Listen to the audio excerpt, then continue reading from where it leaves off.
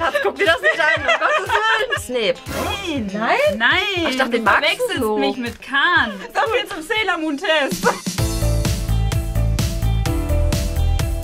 Hallo ihr Lieben. Hey Leute, was geht ab? Herzlich willkommen zu DIY Inspiration. Und herzlich willkommen zu einem Quiz. einem besonderen Quiz. Ihr seht schon, die Umgebung ist heute etwas anders bei uns. Ja, wir sind bei René zu Gast. Ja, äh, im Studio, denn wir wollen heute ein Wie gut kennst du DIY-Inspiration-Test machen. Ja, und wir machen nicht nur einen, wir machen direkt drei Stück. Genau, dann machen wir aber natürlich noch, weil Eva ist ja der Harry Potter-Freak. Äh, wir wollen mal wissen, wie gut kennt äh, Eva Harry Potter. Und in welches Harry Potter Haus gehöre ich? Tatsächlich in Hufflepuff, wie ich denke, oder ist es was anderes? Ja, und ich werde mal gucken, welcher Sailor Moon Charakter ich bin. Ich dachte ja eigentlich immer, ich bin Bunny. Äh, die Quiz sind schon etwas älter, ähm, aber wenn ihr Bock habt, dann könnt ihr gerne auch mal wieder ein neues Quiz Genau. machen und uns das natürlich mitteilen. Dann werden wir das natürlich auch machen. Sehr gerne. Dann würde ich sagen, äh, beginnen wir direkt mal. Ähm, und zwar, wie gut kennst du DIY-Inspiration? Äh, das ist äh, schon etwas älter. Ja, das ist von 2016. wir, ich würde es so machen, dass einmal du machst und einmal ich, Ja. damit wir natürlich abwechselnd auch die Reaktion Ja. haben. Den Kanal betreiben drei Personen. Wahr oder falsch? Ähm, In diesem Jahr? Im Jahr 2016 war das Ganze falsch. Sie heißt Kathi und Eva. Äh, das ist wahr. Sie haben über 200 Abonnenten. 200.000. 200.000 Abonnenten. 200.000. Ja, ich gehe mal davon aus, es Okay. passte. Ich hoffe mal. Sie machen Lifestyle, Comedy und so weiter. Ich würde einfach mal sagen, ja, das haben wir damals auch schon. Ja, ich glaube 2016. Ich glaube auch ja? nicht. Ja, also du sagst ja. Okay, das ist wahrscheinlich falsch. Nein, änder das, änder das, mach falsch. Äh, Sie machen die Videos in Ihrem Studio. Das ist wahr. Pro Woche kommt ein Video. Da bin ich ziemlich sicher, dass das falsch ist. Washi-Tape kaufen Sie meistens bei Real.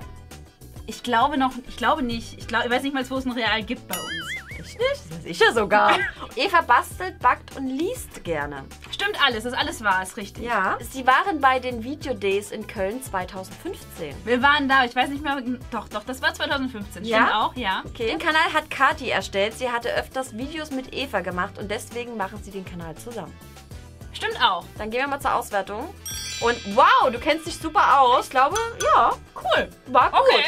So, dann machen wir mal den zweiten Test. Der ist auch von 2016. Ja. Ihr könnt Historische übrigens- Dokumente im Internet. Ja, ihr könnt übrigens parallel natürlich mitmachen und auch testen. Äh, bei Teste dich, also bei Google, überall Ja, kann man Google das, teste dich, Genau. DIY-Inspiration. Also macht gerne auch neue Tests, ähm, weil ich glaube, die sind noch recht alt, die Tests. Ja. Also schon so aktuelle Tests Ja. wäre schon ganz cool. Ich glaube, mittlerweile wisst ihr auch sehr, sehr viel über uns und auch über unsere Personen. Mhm. Aus wie vielen Personen besteht DIY-Inspiration? Aus zwei, aus vier oder aus drei Personen? Ähm, es war 2016. Ich gehe jetzt davon aus, dass es aus zwei Personen bestand. Wie heißen die Betreiber des Kanals? Eva und Kati, Laura und Nina oder Clara und Clara? Einmal mit C und einmal mit K. Ja, also Eva und Kati. Wie viele Videos laden Sie hoch? Eins pro Tag, zwei bis drei Videos pro Tag, einmal pro Woche. Oh, das ist schwierig. Ähm, Finde ich, muss man tatsächlich überlegen, zu welchem Zeitpunkt das war. weiß, ich muss auch ehrlich gestehen, ich habe mir die Videos tatsächlich nicht angeguckt von damals. Ich sagen ein Video pro Tag. Ja, es kann sein, es kann aber auch einmal pro Woche schließt sich aus, es kann aber auch zwei bis fünf Videos pro Tag sein. Wie viele Abos haben Sie jetzt? Stand 29.03.2016. Also das ist jetzt vier Jahre her. Mhm. Deswegen würde ich jetzt 150.000 sagen. Ich mach mal, dann wissen wir es. Okay? Hat Kathi einen Freund? Keine Ahnung? Nein, ja. Ja. Was macht Eva außer basteln? Backen und häkeln? Keine Ahnung, Fußball spielen. Backen und Häkeln. Wo kaufen Sie meistens Washi-Tape? Galeria Kaufhof, Action oder Edeka? Ich würde sagen Action. Ich glaube, das hat sich nicht geändert. Nee, es hat sich, glaube ich, wirklich nicht geändert. Machen wir immer noch. Wo wohnen Sie? Bielefeld, Düsseldorf oder Köln? Bielefeld. Was machen Sie auf Ihrem Kanal? Basteln, Backen, Snacktests und Ja, Hauls? Bastelbacken, Snacktests und Halls. Keine Ahnung. Was machen die beiden außer YouTube? Sie studieren. Keine Ahnung. Couch Potato. Äh, zu dem Zeitpunkt habt ihr, glaube ich, noch studiert. Es kann gut sein. Ja, 2016. So, dazu 16, ja. War Ja. noch Studienzeit. Und super, du guckst öfters mal Videos und besitzt schon Wissen. Acht von zehn Aufgaben habe ich richtig, zwei sind falsch. Oh, das kann man sogar gucken. Ja, also wie viele Videos laden sie hoch? Das war falsch. Zwei bis fünf Videos tatsächlich habt ihr pro Tag hochgeladen. Boah. Und da haben wir noch studiert. Wow. Und leider, äh, ja, 200.000 Abonnenten. Mhm. Also du hattest recht, du warst sehr, sehr gut. Nicht schlecht. Da ist er. So, den würde ich sagen, machen wir zusammen. Okay, wir haben nur 30 Sekunden Zeit für die Frage. Oh, dann los. Was machen Sie für Videos? Top 10 Schminkvideos, Bastelvideos. Das ist von 2016. 2016 basteln. Basteln. Wo machen Sie Ihre Videos? Zu Hause bei Eva im eigenen Studio. 20 Sekunden. Wie, wer heißt Kadi? Die mit Brille, die ohne Brille? Die ohne Brille. Ja. Das Lach-Emoji. Ja, was haben Sie noch nicht gebastelt? Klopapierrollen, Washi-Tape, Dekorat. Ich glaube mit allem gebastelt. Boah. Ich mache jetzt mal Klopapier. Ich würde Dekosand. Nee, egal. Nimm, Ja? Nimm Du. De Dekosand. Nimm Okay. Dekosand. Wir haben keine Zeit.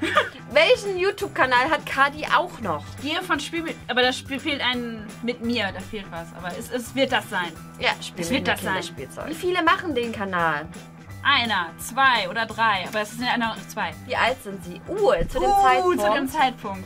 Ich würde sagen zwischen 18 und 29. Ja, die anderen antworten zwischen 30, 50 und 51. Nee, so 51 also, und 51 und 100. Uh. Was stellen Sie in manchen Videos vor? Produkte zum Basteln, andere Videos von YouTubern, Cola. Ich glaube Produkte zum Basteln. Ja, was geben Sie für Tipps? Wie die Sachen besser halten, dass man, dass man es essen soll, dass man es, dass man es nicht essen soll, dass man es essen soll. Oh, schnell, schnell. Das Dass man es essen. Nein, nein, nein, das erste. Wie die Sachen besser halten.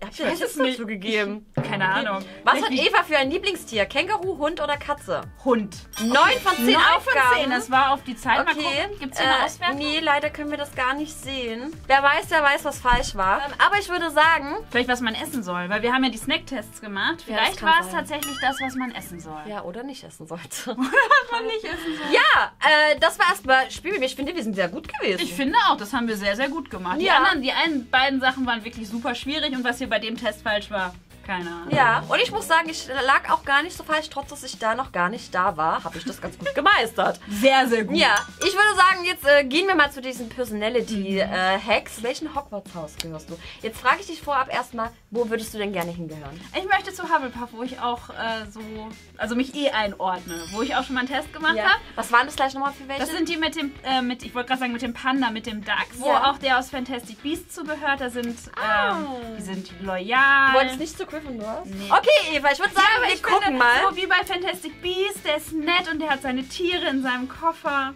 Oh, wie Das süß. finde ich ansprechender. Wie ist dein Charakter? Ehrgeizig und gerissen? Nein. Treu und mutig? Nein. Loyal und fleißig? Kreativ und intelligent? Eins von den unteren beiden. Ja, würde ich auch sagen. Äh, entscheide du, ich sag dir dann danach immer meine Meinung. Ich würde das dritte nehmen. Ich muss da tatsächlich sagen, ich würde das letzte nehmen. Also beides trifft Nee, auf beides jeden Fall trifft zu, zu. Aber ich wäre für tr- Das ist das- kreativ und Nimm, nimm intelligent. das letzte. Nee, du musst ja, Nein, du nein, dann, dann, nimm das, dann nimm das dritte. Wir nehmen das das dritte. ja dein Test. Okay. Ich sage ja dann immer nur, okay. In welchem Haus würdest du am liebsten? Ich finde das nett bei diesen Tests, wenn die schon direkt fragen, was hättest du denn gerne für eine Antwort? Ja. Wir nehmen das letzte da. Also weiß ich nicht, gibt es Ravenclaw, Gryffindor, Slytherin und Hufflepuff. Wir nehmen Hufflepuff. Ja. Okay, wer ist mein Lieblingslehrer? Professor Flitwick, Professor McGonagall, da fehlt das Professor, fehlt das Professor Sprout oder Professor Snape? Snape. Nein. Nein? Nein. Ich dachte, du den magst du so. mich mit Khan. Professor Sprout. Was machst du gerne in deiner Freizeit? Lesen, mit Freunden treffen, meine Feinde necken und mit Freunden abhängen? Meine Feinde necken. Oder Sport? Okay. Ähm, ich mag gerne lesen und mit Freunden treffen. Äh, nehmen wir mit Freunden treffen. Ja, ich glaube auch. Ja. Das, ähm, das würdest du bevorzugen statt zu würde ich- lesen. ja. Mit wem würdest du dich anfreunden? Mit Luna und Joe. Mit einem Fedora und Cedric. Mit dem goldenen Trio. Mit Draco, Pansy, Victor und. George, Joe, Draco. Gregory.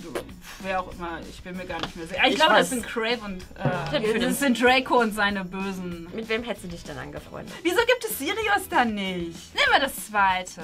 Okay, ich hätte das goldene Trio genommen. Welche Farben magst du am meisten? Blau und Silber, Gelb und Schwarz, Rot und Gelb, Grün und Silber. Was ist das für ein Emoji hinter dem Gelb und Silber? Ich weiß nicht.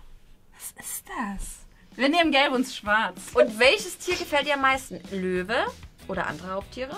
Schlange oder Reptilien? Adler, Vögel oder Dachs, andere Nagetiere? Also eher Raubtiere, Reptilien, Vögel, Vögel. oder Nagetiere. Nagetiere. Was ist dir am wichtigsten? Familien, Freunde, das Schlechte besiegen, Erfolg und Liebe, Ziele erreicht haben. Oh, Und das ist schwierig, das ist schwierig. schwer. Das ist schwierig. Nehmen wir Familie und Freunde. Mhm. Fast fertig. Mit welchem Harry Potter Boy würdest du eine Beziehung eingehen? Oh, jetzt wird's interessant. Oh. Welchen Jungen magst du am meisten? Draco, Harry, ich konzentriere mich auf das Wichtigste. Oder Cedric? Auch da gibt es Sirius nicht. Das finde ich auch wieder sehr enttäuschend. Ach komm, nehmen wir Cedric. Aber ich konzentriere mich auf das Wichtigere. Und die letzte Frage. Der Hut findet es schwierig, dich in ein Haus einzuordnen. Was machst du? Denkst nicht Slytherin, nicht Slytherin. Schick mich am besten in Oder Stille oder lass dir Zeit? Ich sage, lass dir Zeit. Hut, Okay. lass dir Zeit. Dann gucken wir mal, was ist Werte es aus. Und Du bist ein wahrer Hufflepuff. Du bist sehr loyal, loyal hi- hilfsbereit, nett und vor allem jetzt fleißig. freust du dich, Ja. Eva wollte unbedingt haben. Das, Ja, ich wollte es und ich habe es bekommen. Du bringst deine Freunde zum Lachen, wenn sie traurig sind und hilfst ihnen, wenn sie etwas von dir brauchen. Nur bist du für manche Personen etwas nervig. ja. Aber mach dir nichts draus. Viel Spaß in Hogwarts. Cool. Ja, hat gut. Ja, sehr cool. Dann würde ich sagen, äh, werde ich mal gucken, welcher Moon Charakter ich bin. Und schreibt uns natürlich auch gerne in die Ja. Kommentare, in welches Hogwarts-Haus denn die liebe Bianca gehört. Ja, schreibt das gerne mal, wer wolltet ihr mich hin? Äh, und äh, natürlich könnt ihr auch gleich mal mitraten, welcher Moon Charakter denkt ihr? Natürlich. Ich? Also ich finde eigentlich, ich bin so typisch Bunny, also Moon. Ähm, als zweite Wahl würde ich tatsächlich Sailor Mars nehmen. Wie trägst du deine Haare am liebsten? Zusammengebunden, lang und offen, kurz und schlicht, jugendliche Zöpfe, Schleife, Haarspange im Haar. Also ich muss tatsächlich sagen, ich trage sie eigentlich lieber lang und offen. So, wie bist du aufgewachsen? Ich wohne wohlbehütet bei Verwandten. Ich war schon früh auf mich alleine gestellt. Mit nur einem Elternteil. Mit meinen Eltern, Einzelkind. Mit meinen Eltern und Geschwistern. Mit meinen Eltern und Geschwistern. Hast du Haustiere? Ja, aber manchmal geht mir das Tier ganz schön auf die Nerven. mir genügen die Tiere in der Wildnis wohnen. Ja, ich finde süße Tiere so niedlich. Nein, ich möchte keins. Nein, ich, ich möchte aber gerne eins. Ja, ich finde süße Tiere so niedlich. Ja, klar. Hast du einen Freund oder bist du verliebt? Wenn ich das nur wüsste. Ich bin mir mit meinen Gefühlen oft nicht sicher. Nächste Antwort. Ich bin vergeben und liebe ihn über alles. Ich wünsche mir meinen Ex zurück. Nein, Nein, aber, aber manchmal... man wünsche ich mir einen Freund und gerade in Schwärme. Nein, ich habe keinen Freund, aber ich hätte so gerne. Äh, ich muss tatsächlich sagen, ja, ich bin vergeben und liebe ihn über alles, aber ich habe auch sehr oft früher in meiner Vergangenheit geschwankt zwischen das Oberste, weil ich eigentlich so ein Typ bin, der so Gefühle gar nicht so. Ich bin sehr kühl manchmal. Ja, natürlich, mittlerweile äh, ich- habe ich so viel nachgedacht. Schatz, guck dir das nicht an, um Gottes Willen. Der Berger. So viel zum Sailor Moon Test. Okay, bist du sportlich? Ich bin sehr sportlich und vielseitig daran interessiert. In Ballsportarten bin ich besonders gut. Wintersport ist meine Stärke. Nein, leider nicht, aber ich versuche es immer wieder und manchmal sieht man auch Erfolge. Kommt ganz auf die Sportart an. Im Wasser bin ich unschlagbar. Also ich bin tatsächlich nicht wirklich sportlich. Äh, Das Einzige, was Doch, tanzen. ich... Ja, das ist aber das Einzige. Ja. Sonst wirklich, guck dir die Superfly-Videos an. Ich bin total. Mh. Also Wintersport nicht, Ballsportarten. Ich war immer diejenige, die als letztes auf der Bank gewählt wurde. Außer von meinen Freunden, die haben mich dann immer. Oh, ich mochte das viel lieber, wenn abgezählt wurde, als wenn, wenn man aufgerufen gewählt würde. Oh, ja, so und ich muss sagen, meine Freunde haben mich dann immer gewählt, obwohl die wussten, dass ich nicht gut war. Aber die Ja. haben das dann einfach so, sonst saß ich immer sehr lange. Nein, leider nicht, aber ich versuche es immer wieder und manchmal sieht man auch Erfolge. Ich glaube, das würde ich sagen. Ja. Wie gut bi äh, bist du, warst du in der Schule Ich war schon immer sehr fleißig und ehrgeizig. und bekomme daher gute Noten. Ich schreibe häufig schlechte Noten, aber es hält sich noch in Grenzen. Es gibt Fächer, in denen ich sehr gut bin und Fächer, in denen ich überhaupt keinen Durchblick habe. Ich bekomme gute Noten und lerne immer auf die Klausuren. Wirklich schlecht. Manchmal ist mir das ziemlich peinlich. Nie. Also es gibt Fächer, in denen war ich gut und es gibt Fächer, in denen hatte ich wirklich keinen Durchblick. Siehe Mathe und Physik. Uh, nächste Frage. Bist du handwerklich begabt? Ja, ich würde schon von mir behaupten, meine Freunde fragen mich in solchen Dingen häufig um Rat. Nein, aber das hält mich davon nicht ab, etwas auszuprobieren, wenn ich mir etwas mal in den Kopf gesetzt habe. Nein, ich bin eher die literarische, theoretische Person. Nein, und ich scheue mich davor, es auszuprobieren. Im Nähen bin ich super gut, aber für grobe Arbeiten, ich, also ich bin nicht so handwerklich, muss ich sagen. Ich finde, Ähm, das zweite passt ganz gut. Ja, würde ich auch sagen, ich probiere es, aber ich bin jetzt Ja, nicht so... und wenn was gemacht werden muss, dann machst du muss es ich auch. halt machen, ja. Das Lieblingsfach in der Schule. Literatur oder Deutsch? Ach, Literaturgeschichte oder Deutsch? Hm. Ähm, dann Ernährungswissenschaft. So, ich merke schon richtig raus, was Bunny ist. Also Cinnamon, ich höre das schon raus. Natur. Boot. Naturwissenschaften, Hm. Sport oder Hauswirtschaft. Äh, ich wäre, also Literatur, Geschichte habe ich sehr gemocht und ich habe auch Deutsch sehr gemocht. Wie kleidest du dich am liebsten? Ich kleide mich schlicht, aber stilvoll. Man sieht mich oft in Röcken und schönen Blusen. Ich kleide mich stets dem Anlass entsprechend, mal traditionell, mal figurbetont. Mit Mode kenne ich mich sehr gut aus. Ich mag es feminin und edel. Meist trage ich Jeans und einen Pullover, ein T-Shirt. Mein Stil ist sportlich, aber dennoch modern. Ich finde Röcke und Kleider toll, aber trage gerne Sneakers und einfache Jeans. Sehr schwierig. Weil so oft Jeans trage ich auch nicht unbedingt. Eva, entscheide du. Boah.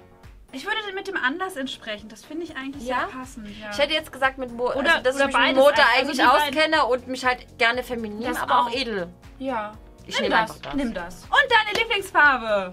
Ja, brauchen wir gar nicht gucken. Ähm, de definitiv pink, rosa, weiß. Ja. haut hin. Äh, wo liegen deine Stärken? Ich bin stark und versuche Ungerechtigkeit zu verhindern. Oh. Ich bin ein fröhlicher, harmonischer Mensch, der sich nicht gleich aus der Ruhe bringen lässt. Ich setze mich immer für die Menschen ein, die mir wichtig sind. Ich bin ein toges Mädchen und stets realistisch. Ich bin klug und hilfsbereit.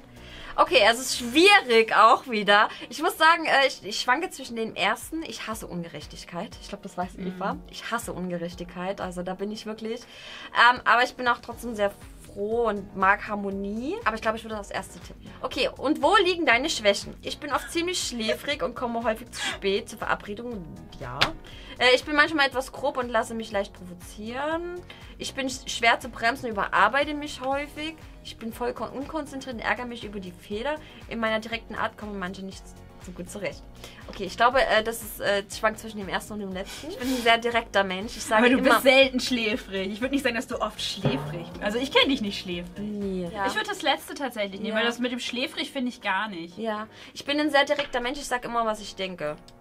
Manchmal ist es gut, manchmal nicht. Okay, wie sieht dein Zukunftsraum aus? Ich, ach, das ist sehr lang, das Quiz hier. Ja. Ähm, ich möchte einen sehr guten Beruf erlernen, der mich interessiert. Ich möchte meine Traumhochzeit für immer und glücklich in Harmonie leben. Ich träume von einem Leben als berühmte Persönlichkeit. Insgeheim wünsche ich mir einen tollen Oh. Mann zu heiraten.